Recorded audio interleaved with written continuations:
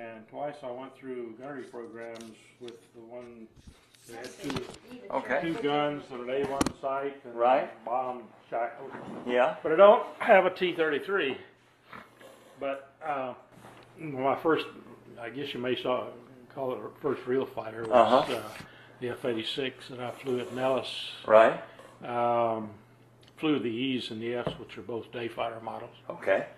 And then I was fortunate, I was high enough in my class.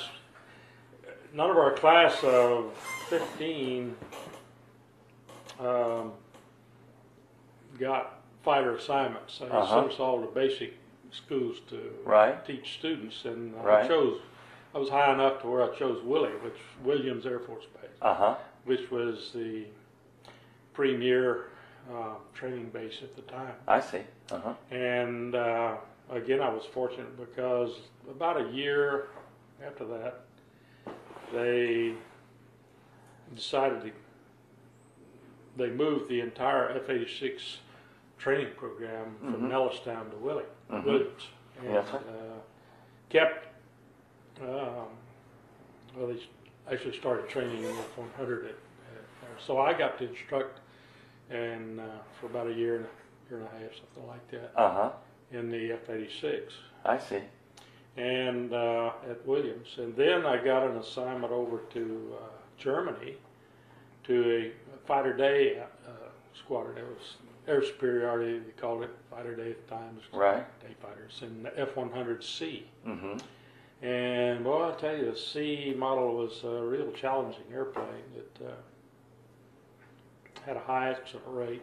Oh, one of the reasons which was a number of things about the airplane that were not as reliable as it should be. I understand. It's a first first generation supersonic fighter. Uh huh. That was this F-100 here. Uh huh. Um, actually, that's a D model, and I flew the C. Right. The basic difference between the two, the C model did not have any flaps Oh, okay. had inboard ailerons, Uh-huh. whereas the D model had conventional flaps and ailerons outboard. Yeah.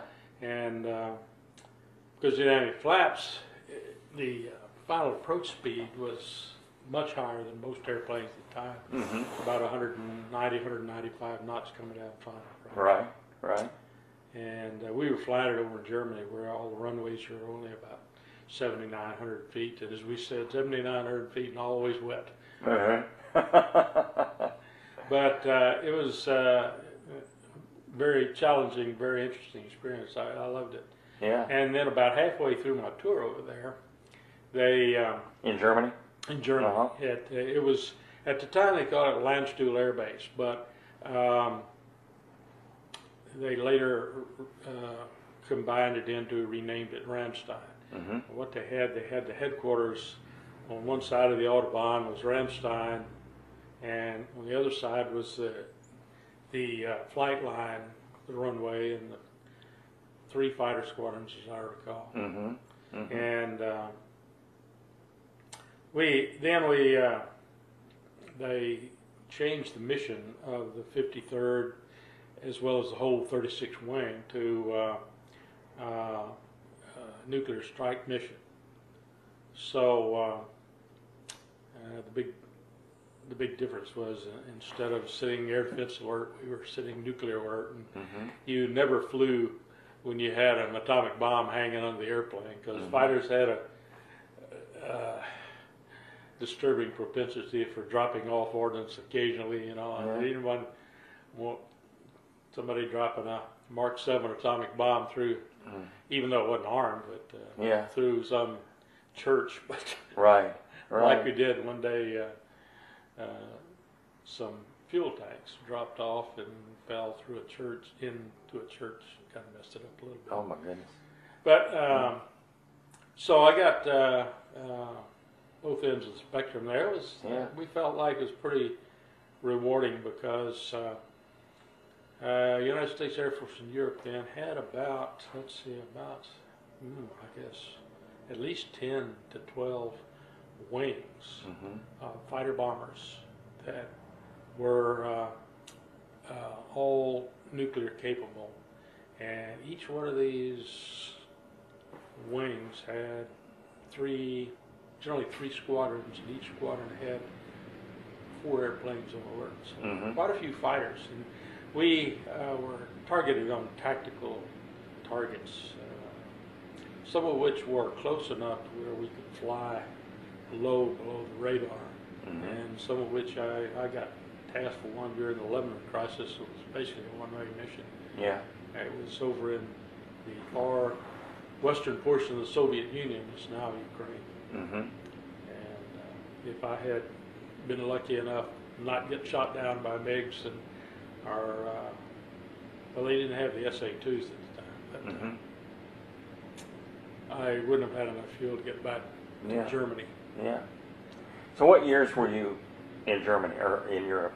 Oh, that was 1957, and uh, came home in 1961. But part of that Okay. time I spent down at Aviano as a flight safety officer. based Okay. Take me just sort of.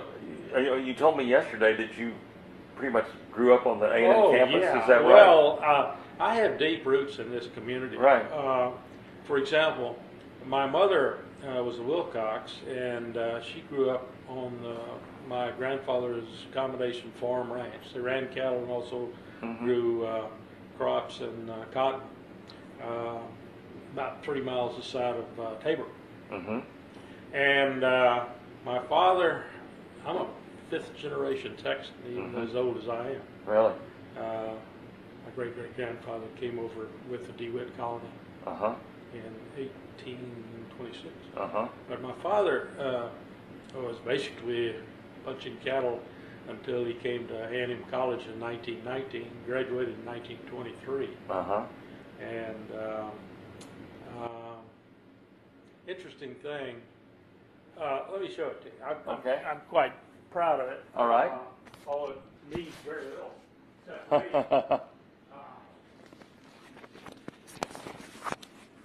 ROTC branch at A&M. Yes, sir. And my father was in this Air Service branch, and his summer camp between junior and senior year was down at Kelly and Brooks Right, Air, Air Base, Uh-huh. uh, Brooks Field, Uh huh. Kelly Field, and uh, among other things, they uh, this is this is he in a 90th Squadron, the Dice, Uh huh. uh, which is still in existence as a fighter squadron, one of the oldest in the Air Force. Uh, that's a um, de Havilland DH-4. Uh huh. Anyhow, um, among other things, they put him through the, put all ROTC cadets through the observer course, and he graduated as a uh, qualified observer, air, air service.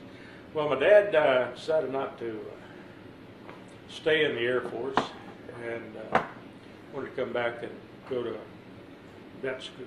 Uh-huh. Or he, he wanted, he was uh, animal husbandry, but he had Right. a set, eyes set on being a veterinarian. Uh-huh. Uh, one of his classmates did stay in the Air Service, in the Air Corps, and the Air Force after that, and that was uh, uh, General O.P. Weyland, Mhm. who retired as a four-star general, commander of TAC. Right. He was a classmate of my dad's. I see. I see. Anyway, I read about him in uh, in Henry Defloff's book, uh, Aggies Go to War. I read Mhm. about him in that. Yeah. hmm uh, he met my mother, and uh, my mother was a school teacher at the time, and they got, they got married. And my dad uh, uh, went through vet school uh, under Dr. Mark Francis. Uh huh. And then Mark Francis asked him to come back and join the faculty in 1927. hmm He's been there ever since. And I was born in Bryan, and uh, after first grade, going through first grade at Travis, uh, we moved out onto the campus. And our campus house was right across the street. It's where G. Rollie White is now, right Mhm. across the.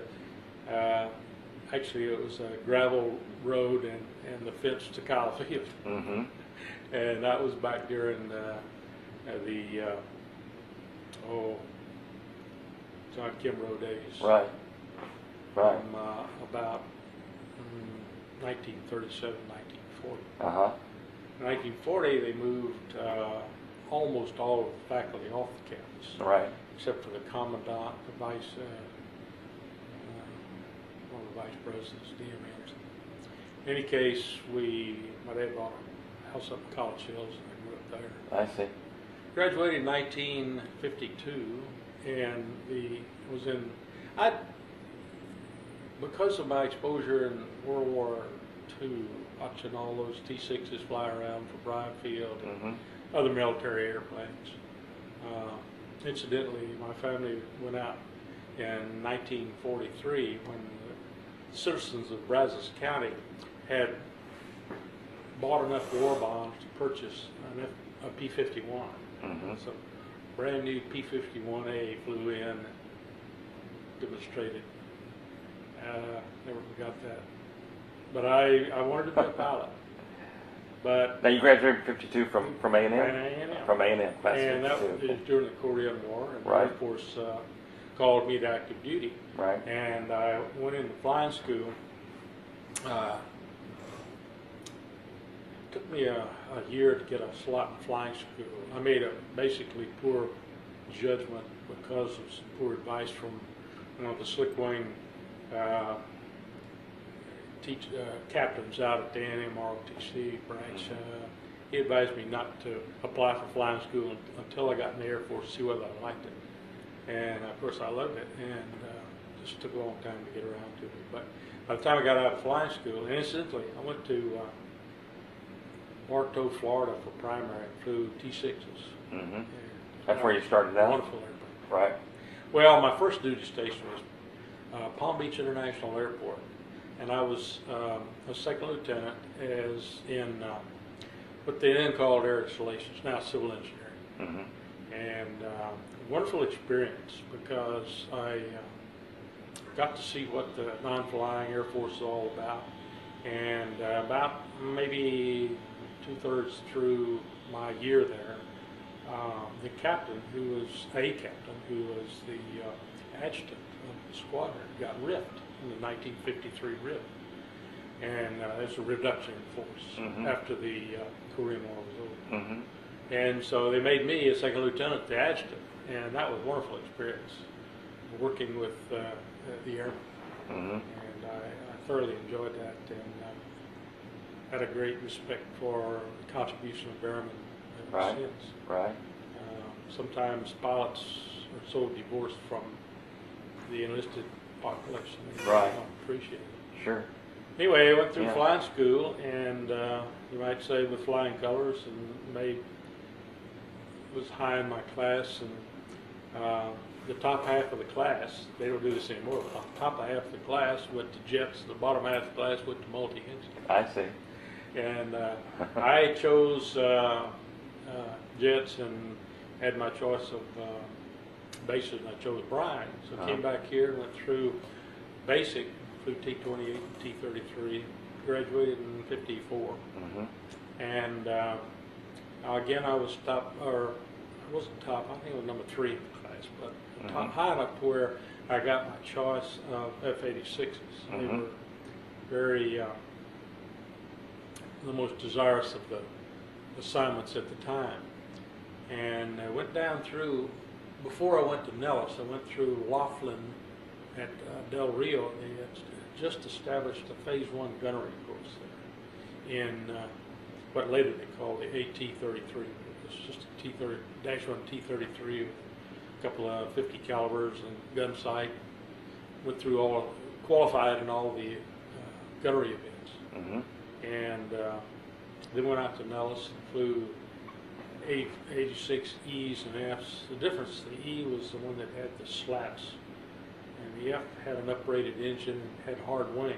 That was a result of the Korean War experience, Mhm. where the uh, E's with the slats would get up high altitude trying to chase the MiGs, and they get slow, and the slats would come out and kill her Mach and they'd stall out. hmm So they put a hard wing on it, and they got it to where the F would go up, oh, close to 50,000 feet. Took a while to get up Yeah. there, but uh, the MiGs would go, a little- still go a little higher. hmm Uh, but it, even when I was flying, it was, uh, it was the finest uh, fighter in the world. Yeah. Uh, certainly superior to the MiG-15. Right.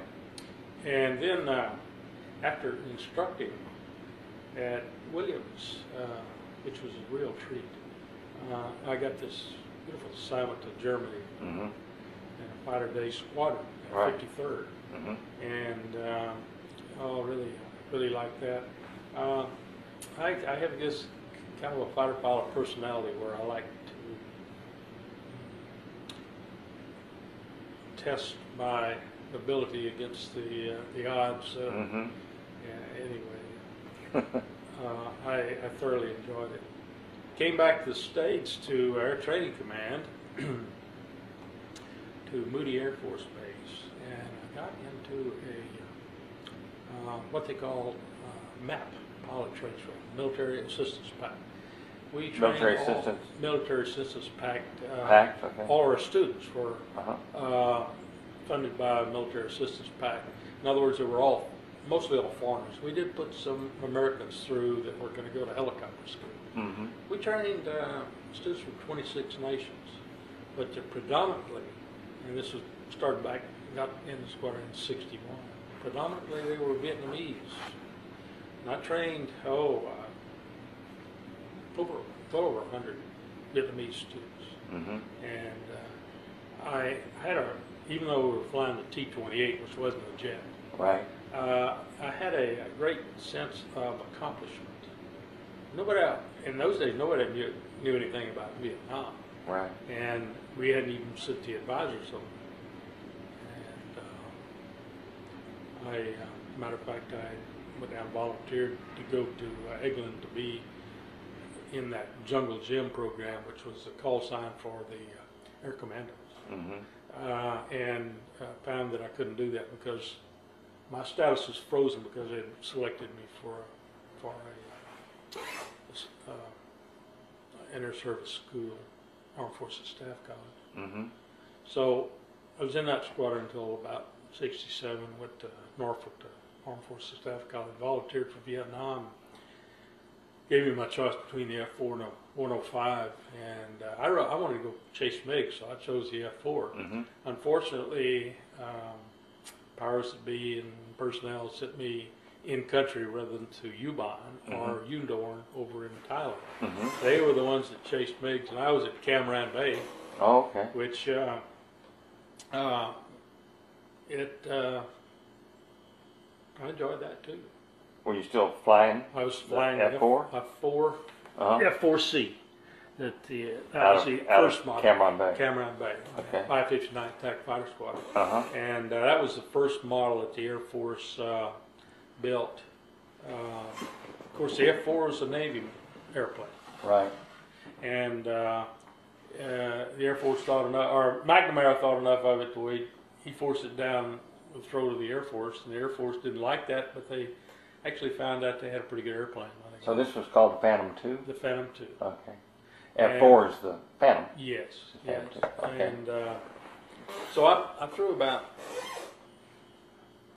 oh, two thirds, three fourths of a tour at Cam Ranh Bay, and then uh, my squadron commander called me in and uh, told me they needed a silver tongued individual to go down to Tan Son Nhut to be briefing officer for General Brown, the commanding general. hmm And I said, Well, do I have a choice? And he said, No. And I said, Okay, sir, I'll go.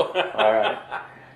that was uh, it. it uh, uh, that was a, a good assignment. I John Brown didn't like to get briefed on Sunday, so I had 24 hours after Saturday briefing until I'd start the another briefing, hmm and uh, I would go over to uh, go to any squadron I, I could find that had an open seat that would fly. hmm And at Bien Hoa was the fighter base about, I guess, 20, 25 kilometers, 15 miles or so from, from uh, Saigon. hmm And uh, all of these friends I had in the, in the VNAF, the Vietnamese Air Force, there were probably two dozen, or a dozen or two, no, must have been about a dozen people in that squadron that I knew, from the squadron commander to the flight commanders and others. The people that you had trained, fly right? the F-5. People that you had trained? The, yes, from the that I trained. Vietnamese Air Force, right? Okay. Mhm. and they let me fly the uh, F-5, and I flew about 19 combat sorties with them. Yeah. And um, also, from nostalgia, I uh, went down and flew the back seat of, and oh, half a dozen sorties in the F-100F. Mhm. I'd flown the 100. And heck, I'd go fly with anybody anywhere that had a had an open cockpit. I even uh, I even flew with a uh, a spooky crew one night, the uh, AC-47, Uh huh. which is called a spooky. Spooky crew. Well, that was the call sign. Spooky. Yeah.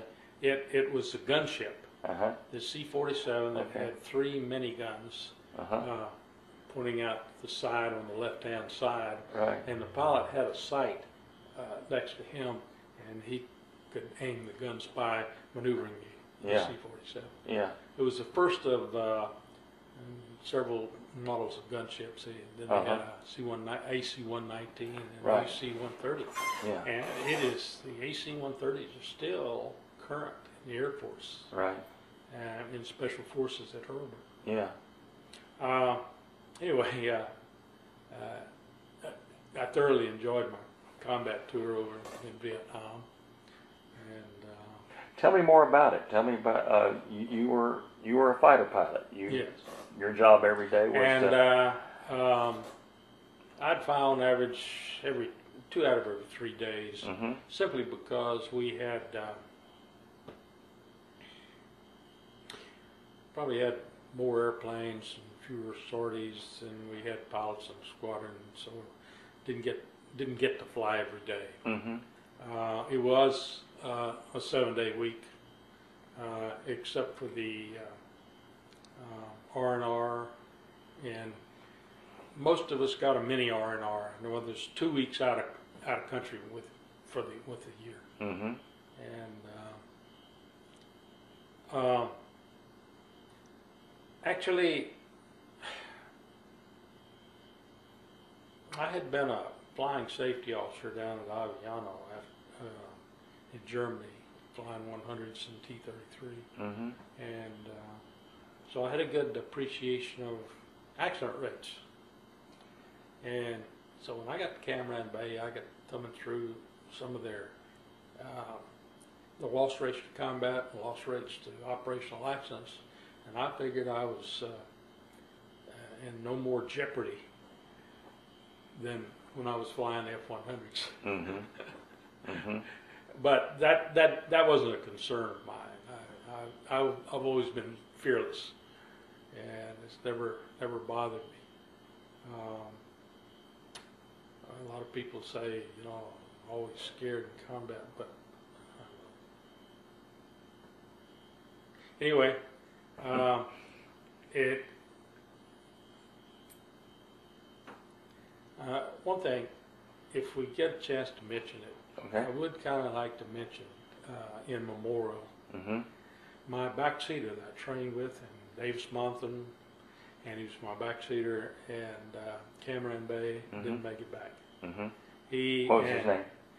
Uh, Tom Burge, Tom Burge. fine young man, Mhm. and um, he um, was flying with. Uh, uh, this was not too long after I left Cam Ranh Bay to go to uh, Tan Son Nhut, and I had been the flight commander, and my assistant flight commander then moved up, took over my job as flight commander, and since Tom Burge was the best gib or guy in the back, Mhm. back seater in the flight, he took over my gib. Mhm. Uh, and uh, they were they were killed on a night uh, scramble. Um,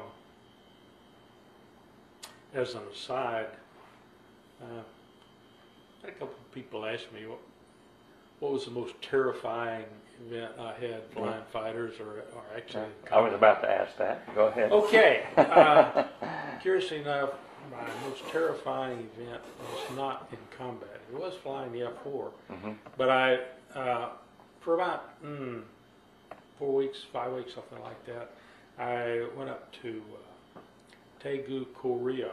One of the squadrons in the 12th uh, wing uh, there at Cam Ranh had been deployed up there as air defense for uh, after the North Koreans hijacked the Pueblo. Mhm. Recall that? Right. Sure. We were at Daegu, and uh, we sat alert with uh, F-4Cs, and we had uh, four Sparrow missiles, four Sidewinder missiles, and a gun pod. And the gun pod was a big, long, 1,100 pound pod that had the, the Gatling gun and 1,100 rounds of Mhm. ammunition. And we had some interesting uh, scrambles. I had two scrambles in one day. Both, both we went out and scrambled, uh, or we uh, intercepted a Russian Badger uh, in, intel aircraft or Mhm. uh, intelligence gathering airplane. Mhm. ELINT is what they call. it. But back to my uh, most terrifying mission. Um, uh, one night, we were on alert at about 3 a.m. They scrambled us, and I did not wake up. I was not conscious of anything until I was passing through 5,000 feet. Wow. I do not remember the klaxon going off. I do not remember running out to the airplane, getting in, me starting the airplane, the backseater making the radio calls and doing his thing, taxiing out. And I was a flight leader, and I was led the, the other flight. And I was just in an alpha state. It's just like highway hypnosis. I Mhm. was doing everything by rote. Fortunately, did everything right. Yeah. Yeah. But that, when I woke up and considered that, that terrified me. sure. Were you sleep deprived? Was that it? I mean, were you? Well, no, uh, no, no. Um, I wasn't sleep deprived. I always got adequate sleep. yeah. It's just that when you wake up or, or alerted out of a dead sleep at Uh-huh. 3 a.m. Right. It's, Yeah. uh, uh, Yeah. and I had been scrambled the night before and Uh huh. not had that. I'd, I'd been awake. Right. That one, that, that one kind of got to me. Exactly. Exactly. What about terrifying, actually combat events? I mean, No, uh, in South Vietnam, we uh, we would go up to Khe Sanh there, where the Khe Sanh battle was going on, Mhm. and they were shooting at us. But uh, in South Vietnam, they had so little. The NVA and the uh, VC had so little armament of any uh, anything good that. Uh, Mhm. uh, it was a big deal when the Forward Air Controller found a 50 caliber shooting, Mhm. and he would call in all attack air he could get and wipe out that little 50 caliber machine guns. Right. Right. And uh, uh, I guess uh, I got. Uh,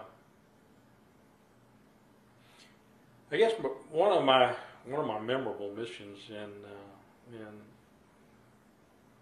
Vietnam um, was when the Sanh battle was uh, going on. It wasn't the height of the Sanh battle; it was toward the end. There, it was after Tet hit. Mhm. And I think this was in April Mhm. of '68.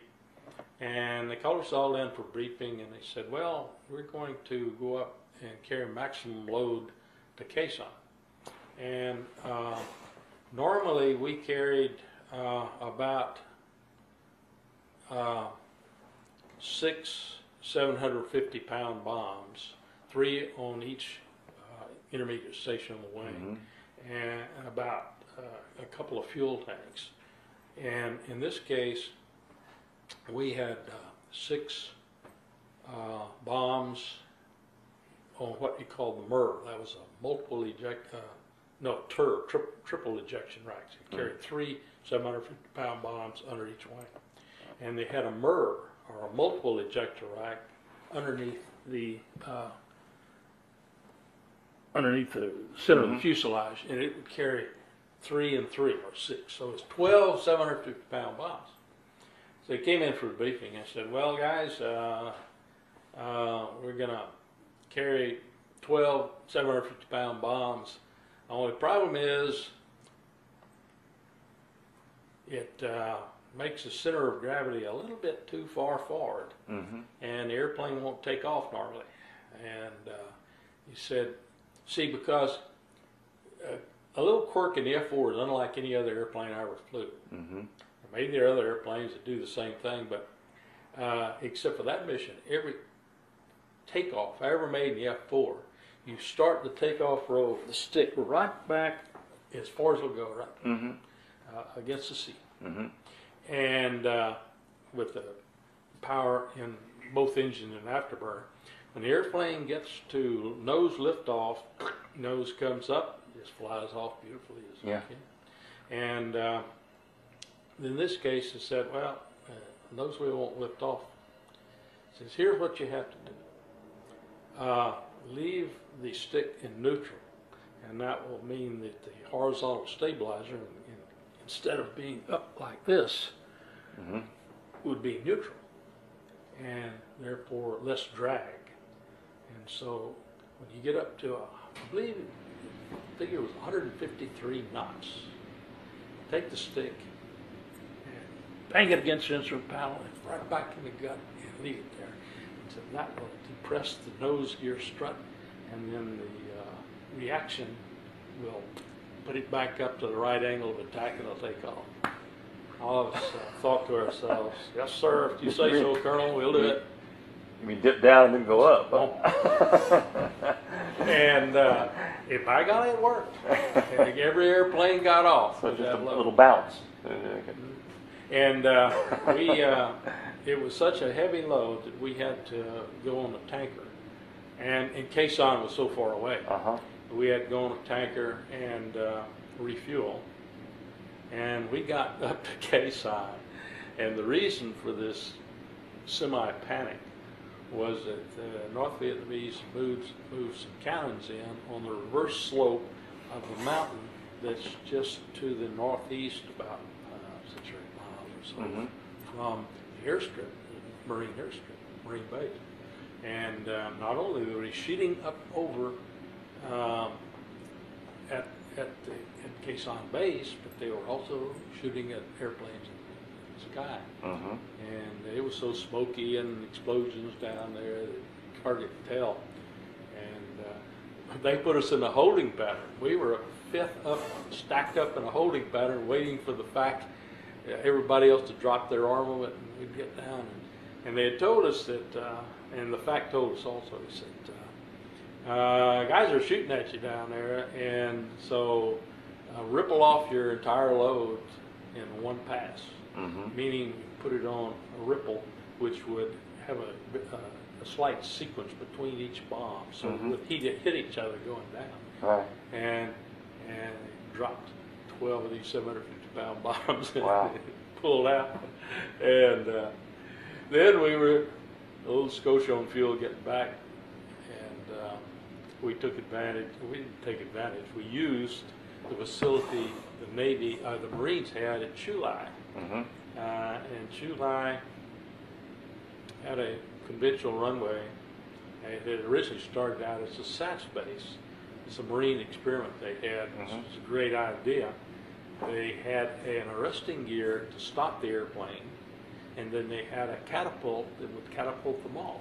And They Mhm. had a very short runway, but uh, as the war progressed, they went in there, uh, round route, went in there and made a concrete runway. But the neat thing about it is, the Marines would let us hot refuel.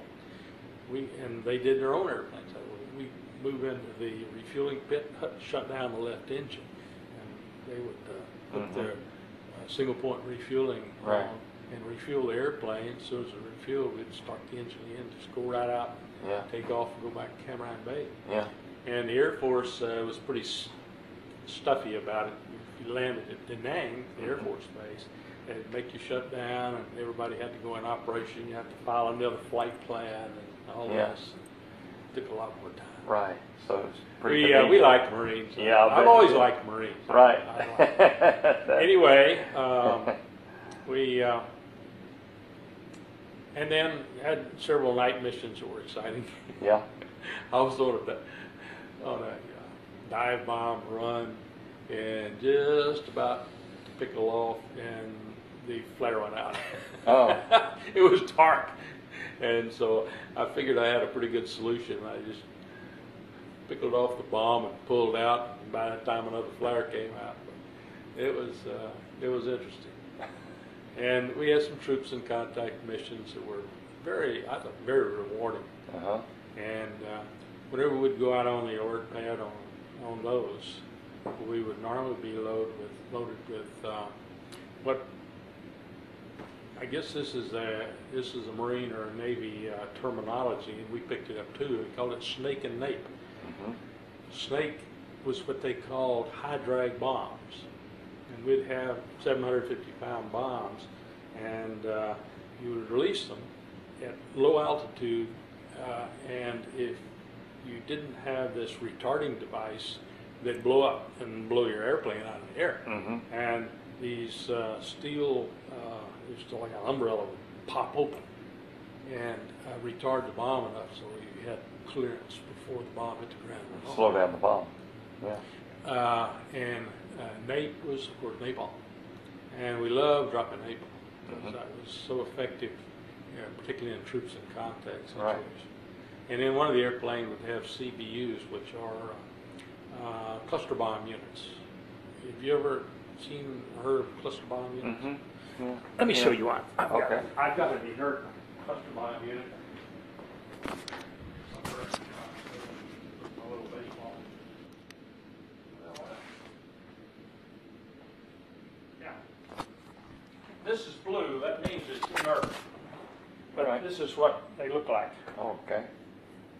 And they're aluminum and they have uh, steel uh, pellets embedded in there. Right. And the charge, and those fins rotate it after it goes out of the tube. Uh-huh. You drop it, and then it uh, arms itself after it rotates so many times, like Right. like a real bomb. Right. Wow. That could cause some damage. yeah, it's like hand grenades, a whole bunch of them. Right. Another mission that involved these that I went on uh, at Cam Ranh Bay, the Armament Center from Eglin brought some uh, what they call fuel air munitions, or Mhm. um, commonly called propane bombs. Right. These darn things are really s- strange looking. They look like a regular uh, propane tank, about this big around, about 15 feet long, and they just had a conical uh, steel uh, nose welded on. In the back, they did have some uh, uh, uh, fins and somewhere back there, they would put a uh, phosphorus grenade Mm-hmm. uh, fuse to the proper interval that they wanted. Well, uh, they wanted to try these out, and uh, somebody came up with the concept. Well, I thought a pretty sound concept. Um, up near Cu Chi, which is so hmm, roughly north of uh, Saigon, Mm-hmm. uh, the VC had a uh, tremendous underground complex, Mhm. tunnels, spider holes, and everything. So the theory was, I went out with the initial flight um, about 30 minutes before the fuel and air munitions, and we dropped CBUs, dropped these Mm-hmm. and uh, some of them were instantaneous, and some of them were fused to cook off within a half hour, 45 Mhm. minutes. And uh, presumably, this would cause the uh, uh, VC and NVA, whoever was in there, both of them, Mm-hmm. to go underground. Mm-hmm. And then they came along with fuel air ammunition and and this propane would seep down into the tunnels and then go off. And they showed us some movies, and it was really impressive. They go whoop. And it didn't sound like an explosion, just whoop.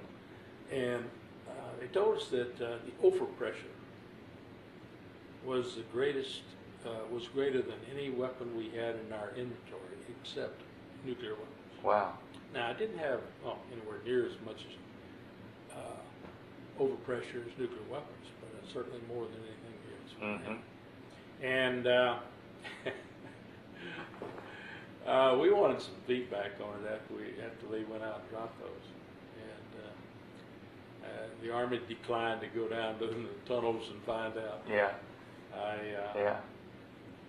uh, I think we still have some fuel air munitions in the inventories.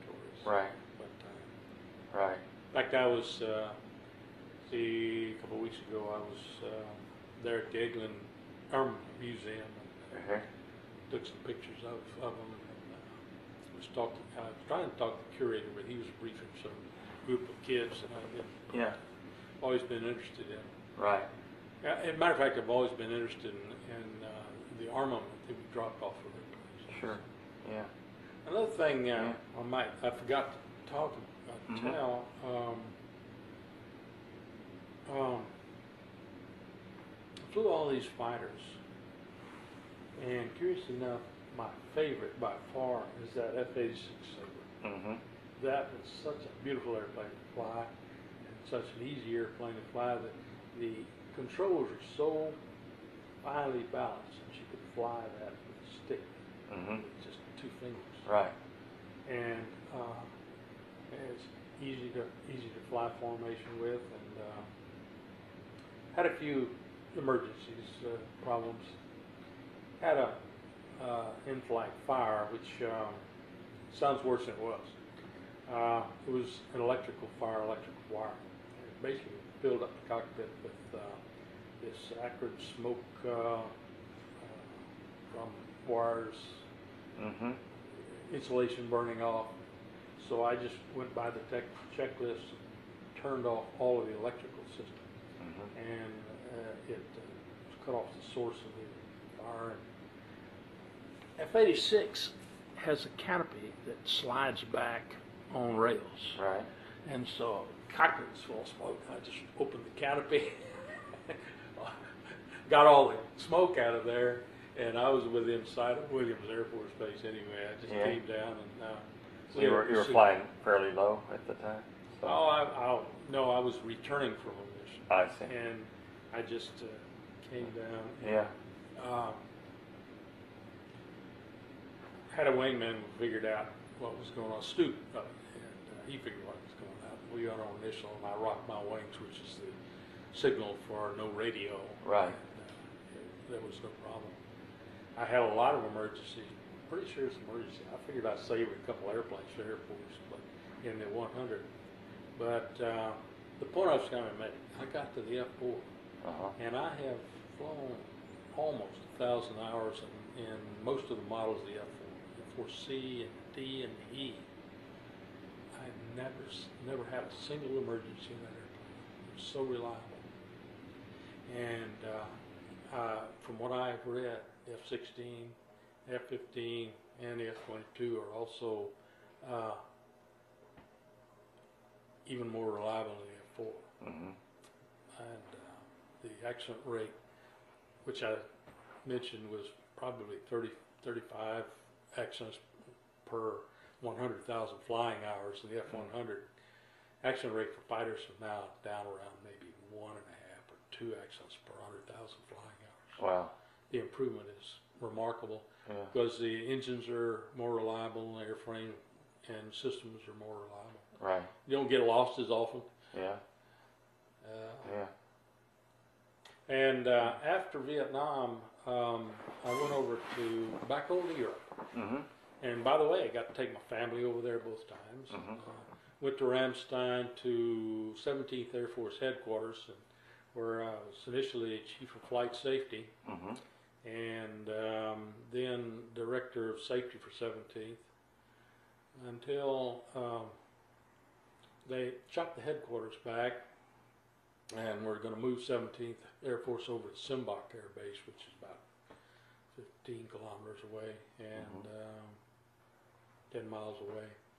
And uh, I, uh, another guy had come in that outranked me, took over the job as director of safety.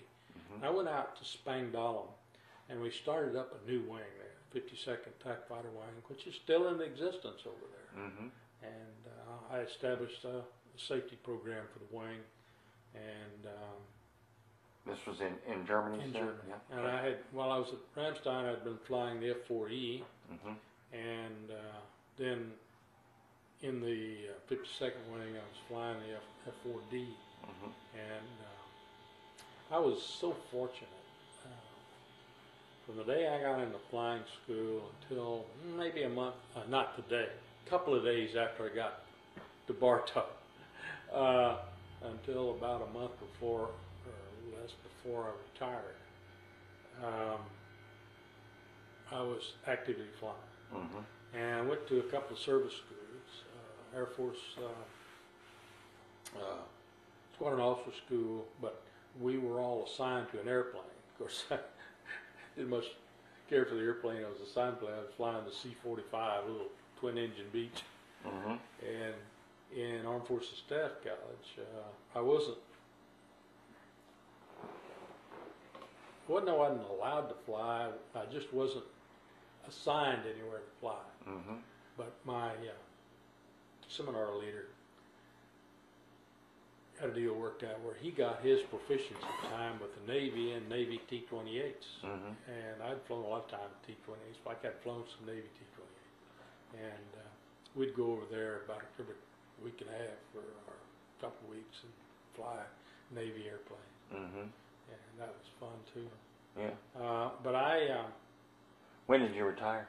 I retired in 1973. Mm-hmm. And um, Where were you still in Europe or? Well, I was at Spangdahl, and the Air Force came out with a policy uh, right there in the last little bit uh, that uh, quote unquote uh, I didn't have to fly anymore. Mm-hmm. Uh, I could draw flying pay, but I didn't have to fly proficiency. Mm-hmm. And uh, everybody had been flying for 20 years.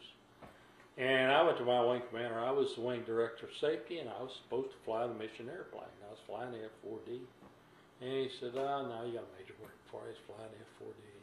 You don't need to fly it." So I had about made the decision anyway, but I that that sealed the decision for me to retire when I got back to the the port at uh, McGuire. Mm-hmm. Um, I just, frankly, um, my sole motivation in the Air Force was flying. And uh, I didn't fly fighters the entire time. I was in training command for a while, but um, that was my motivation. Mm-hmm. And I just could not see going back and sitting at some desk doing something, whatever, Right. and watching other people fly. Yeah.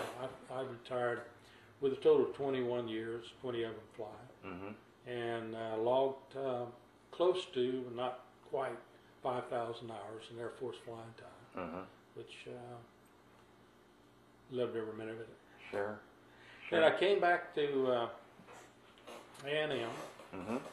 and uh, I had um, earned, studied for, and earned a master's degree in systems management from University of Southern California while I was in the Air Force. Mm-hmm. and uh, uh, got a job with the Executive Development Programs Office at A&M and College of Business. Mm-hmm. Taught management a little bit. They were uh, uh, they were desperate for people to teach management. And Mm-hmm. I was qualified to do so. And uh, uh, maybe we might have not mentioned this, but after about eight years, I got fed up to here with what I considered to be office politics. Mm-hmm. I now look back and realize what that was was the encroaching political correctness, but nobody had named it by that Mhm. at that time. And I had a some sort of disagreement with uh, the dean of College of Business, and Neve Dean had come in, and he was trained changing a lot of the aspects of the executive uh, development program. So I. Uh, uh, I resigned, but I was able to retire when I Mhm. reached a couple years, a couple three years later when Reached Mhm. 55 years old, Mm-hmm. and uh, worked about three years for E.F. Hutton, which was great. I uh, Mhm. learned a lot about investing, Mm-hmm. and uh, my wife and I have always been savers and investors. And, Right. Uh, we, um, uh, with the retired pay and what we've invested, we're Yeah. we're not hurting. Yeah. Good. Good. and uh, we're not rich, but we're not hurting. Tell me about your, your, your family. When did you and, and uh, Ann, is that right? Ann and When- I when you- um, met uh, in Stephen F. Austin High School in Bryan. Uh-huh. Um, a good many of the professors at A&M, uh, I went to Consolidated up through freshman and and Consolidated, Mm-hmm. and we had just about as many people in the entire consolidated high school as they had in, in one, uh, in the class of 48 and Bryan Stephen F. Austin. Mm-hmm. Perhaps a few more, but about the same. And um, uh, Stephen F. Austin had a, a much greater reputation Mhm. at that time. Mm-hmm. Uh, and so most, uh, a lot of professors, uh, other people at College Station, sit kids in. Bryan, so I went in uh, sophomore in high school, and I met, started going together, Mm-hmm. And then she went. her parents sent up her at TC, TSCW and told her to stay up there until she got got, got a degree. Mhm. that wasn't exactly true. Uh, Well, She got a degree They didn't it. want us to get married. yeah, they didn't want us to get married. They didn't want anything in between either. anyway, we uh, she graduated in three and a half years from TSCW and came back, and they allowed us to uh, to get married about six weeks before I graduated in 1952. We got married at Easter. I see. And um, then uh, when I graduated, I just sat around for about three year, three months, for three months, waiting to go into the Air Force. And So you got married right before you graduated from Mm-hmm. from A and M. I see. we uh, He wasn't Ah. old enough. He wasn't 21 when he graduated from A&M. I so They see. couldn't take him into the service. I see. Yeah. uh, yeah, I. Uh, Yeah. Yeah, I, I had to be 21, and I, I graduated at uh, 20. Uh huh. Um, you're probably familiar with this, but uh, it wasn't until about 1940, uh, no, a little later than that, that uh, Texas went to a 12-year school system. Mm-hmm. And I got in early enough, Right. Ann and I graduated with 11 years. Mm-hmm. I uh, skipped the fifth grade, Mm-hmm. and that was great because everybody said fifth grade was really hard. Mm-hmm. But uh, uh, anyway, we uh, we've been together a long time. yeah. So you have family and Yeah, had two boys. uh Uh-huh. our oldest um, was uh, in a the electronics design program that the engineering extension uh, service used Mhm. to run out at the annex. mm-hmm. Well, I don't know whether you're familiar with it or not, but Mhm. uh, this program uh, predated uh, PCs. And a lot of these graduates went to work yeah. designing circuits for uh, Right. computers.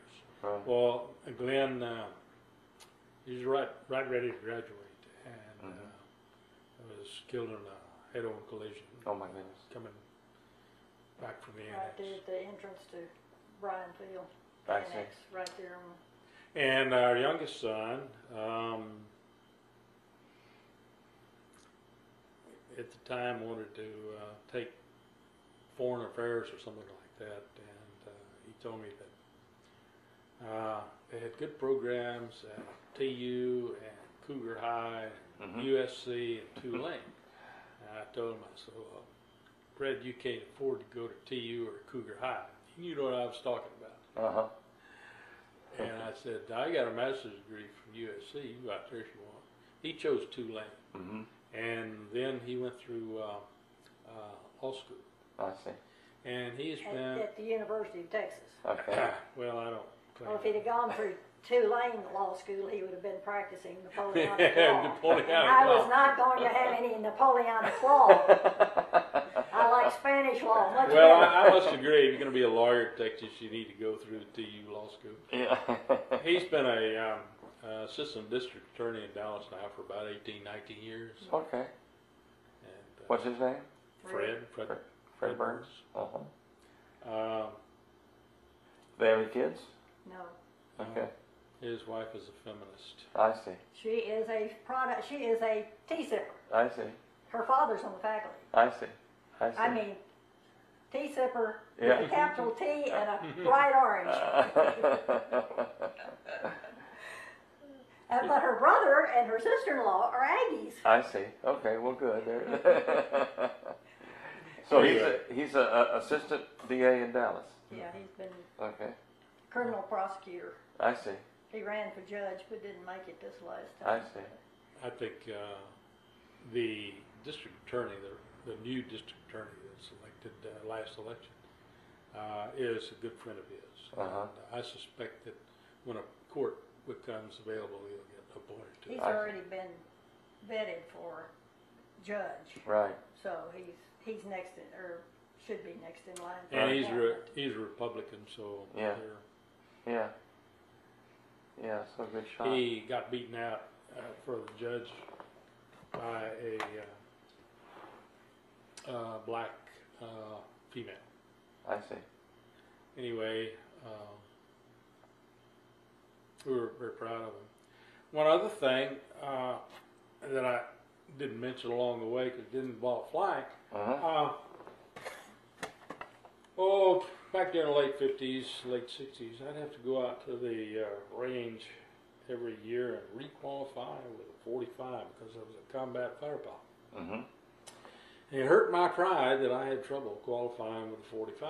Uh-huh. I got a, a Colt gun collection of Colt automatics here, Right. but I just had trouble shooting the 45. And about 1963, uh, we'd moved the squadron from Moody over to Randolph, and I had a guy in the uh, squadron who was on the Randolph pistol team. Uh-huh. I was telling him my tale of woe, and he says, "Oh, I, I teach you how to shoot a 45 in two hours." Right. Like, hey, that's a neat trick. Gonna let you do that. Uh-huh. And uh, he used a, uh, uh, a very well accurized uh, comb- uh, competition Mhm. 45, Mhm. and instead of using that hardball 230 grain bullet 45 arm ammunition, uh, used 180 grain behind about a half the load. It was for uh, competition shooting Mm-hmm. and uh, he um, apparently recognized that I had talent, Mm-hmm. raw talent, and I've always liked to shoot pistols, Right. but I never did any competition. Yeah. And so uh, he asked me to join the pistol team, and I was on a couple of different Air Force pistol teams until I went to Vietnam and then didn't shoot any over there, Right. except uh, 20 millimeter. Uh-huh. And um, then subsequent to, to Europe, I didn't shoot anymore. I got back, was kind of over the hill as a competitor, but I pretty well knew my trade. I Mhm. knew how to shoot well. Mm-hmm. And uh, so I voluntarily went over to uh, Trigon to volunteer my services as an assistant coach for the pistol team. Found out they had allowed it to lapse. They didn't have one. Mm-hmm. So uh, I uh, I formed one. Uh, I got the uh, cooperation of uh, an army captain at Dulles shooting. Mm-hmm. We started the A&M pistol team up again in 1974. I see. Been coaching it ever since. Primarily because I can't find anybody to take it over from me. Yeah. But I love it. I tell you. And, I uh, I get uh, I get more satis- I get as much satisfaction out of coaching as Yeah. I did out of shooting. yeah. How many are on the team? Oh, we've got. Uh, I basically coach two teams. One Uh-huh. is the university team, and I got about twelve people on that. I think four or five girls, uh, Mm-hmm. thirteen or fourteen, something like that. And then I, I coach the ROTC pistol team, Mm-hmm. and we've got about ten or twelve on that. Mm-hmm. I'd, I'd say 10, 12. Mm-hmm. Uh, it depends on who comes. Yeah. But um, two years ago, um, my ROTC pistol team I coached, should call it mine, but I coached, Mm-hmm. uh, won the uh, NRA National Collegiate Pistol ROTC Championship. I remember that. I remember that. And uh, we generated quite a lot of uh, positive recognition in Uh-huh. the uh, Trigon. And so I think it's led to a situation that will perpetuate the t- pistol team. Right. They, uh, they last year, uh, one of the team members used his own initiative, um, wonderful leadership and, and perseverance and negotiating skill. He persuaded the powers that be in Trigon to create the uh, ROTC pistol team as an ROTC sponsored unit Mm-hmm. uh, similar to um, the orienteering team and the fish drill team and the RVs, they're all units. Right. Have a commander, Right. and that's the way it is. With the ROTC facility. Mhm. Last year came in second again, but uh, Uh-huh. we had come in second and won it, came in second. And this year, I'm, I'm hoping we'll be able to beat out our uh, Ohio State, win it again. Right. So how many Actually, next year will be. is there is there just 2007. that main competition, or are there other competitions leading up Oh, to we the have a number of championship? competitions. For Uh-huh. example, we're having a, uh, a big match, uh, I say big match, moderate size match in November. Mhm. And our chief competitors uh, are the team from uh, uh, what's now Missouri State University. It used to be Southwest Mhm, Missouri State right. at uh, Springfield, Missouri. Right. And in December, we will go up there and have a match with them. I see. And then we'll have uh, a match to go to over at TU in January, Yeah. and we'll host a uh, uh, NRA sectional here in February. And Right. That's the one where we post a score that we uh, hope to qualify for the nationals. Mm-hmm. Now, we've had the nationals 26 years, and our team. eh, It takes you got to be in the top 10 teams in the nation to be invited. Mm-hmm. And we've been invited and gone 24, 24 years out of 26. Yeah. Pretty successful. Yeah. Well, it's difficult because I don't have any scholarships. Right. I have, uh, let's say, minimal support. Um, for example, we'd, we'd like to have more money for travel, we Mhm. But uh, we do. I have uh, put in a number of grants that I have received uh, Mhm. excellent support from the NRA Foundation to buy state-of-the-art competition pistols Mm-hmm. and uh, but it's it's tough uh, competing with the uh, military academies, particularly uh, Naval Academy and, and uh, West Point, Mm-hmm. and to some extent also Coast Guard Academy. Mm-hmm. Air Force Academy uh, doesn't. Uh, they have a team, but uh, they haven't. We we have a better team than they. Yeah. Yeah. Uh, But we have come in, uh, I believe, once in those years, third. Right. That's the best we've done. I see. Uh, In our university team. Yeah. Yeah. Is this you? Yes, it is. I like the like the stash. That's good. Well, uh, some fighter pilots uh, do wear mustaches, and uh, um, I guess they tolerated me. They didn't really know what to do with the squadron. But a funny thing, um,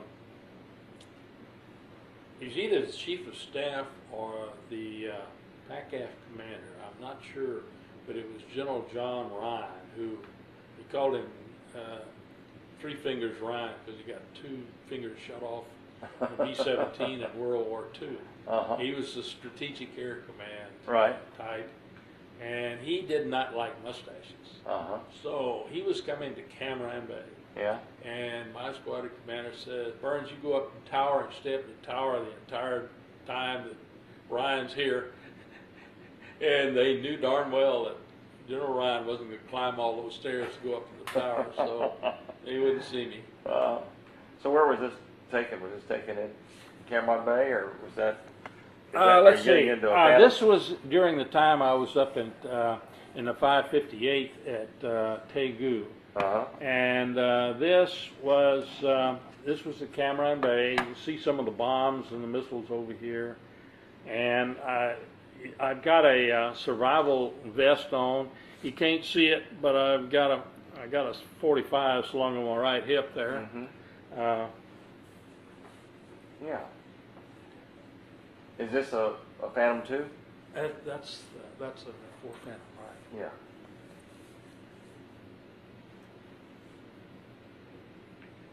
Wow. Anyway, uh, I think I've had a wonderfully, ex- um, and uh,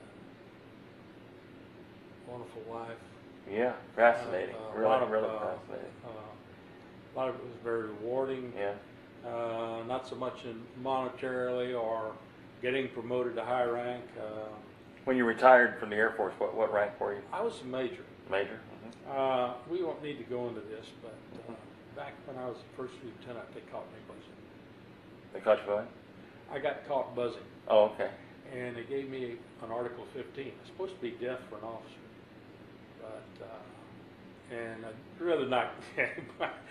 I'm not ashamed of it. I don't mind telling, but I don't want to put it on the Yeah. on the air. But No, in any case, um, the wing commander at the time was uh, Colonel George S. Brown. Uh-huh. Later was a four-star general. Matter of fact, he was the guy I briefed in, Mhm. in Vietnam, and he went on to be Chief of Staff of the Air Force and Chief of the Joint Chiefs.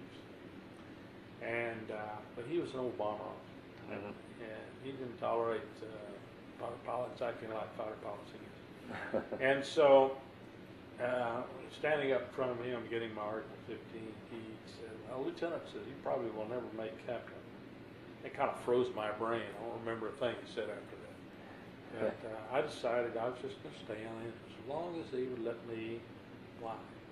Well, contrary to what he predicted, I made captain on time, Uh-huh. major on time. I went to squadron officer school. Not everybody gets selected for that. Some, some's good enough to do that. Mhm. I, I was pretty good at my trade. Yeah. Not the best, pretty good. Pretty good. Yeah. Uh, we all say we're the world's greatest fighter pilot, but Uh-huh. uh, you know, um, oh, there there are those who are better. Right. Um, and then I went to Armed Forces Staff College, which is an interme- intermediate uh, Uh-huh. staff college uh, pretty high, highly prestigious. Right. Right. And uh, volunteered for Vietnam, and uh, just failed to make uh, lieutenant colonel. I think they drugged up that old. the old buzzing? But that didn't make any difference to me because um, I pretty well knew if I got promoted to lieutenant colonel, my flying days were probably over. Yeah. Yeah. And like I said, my motivation was flying. Right. So uh, That's what you wanted to do. That's what I want to do, and that's what I got to do. Well, great.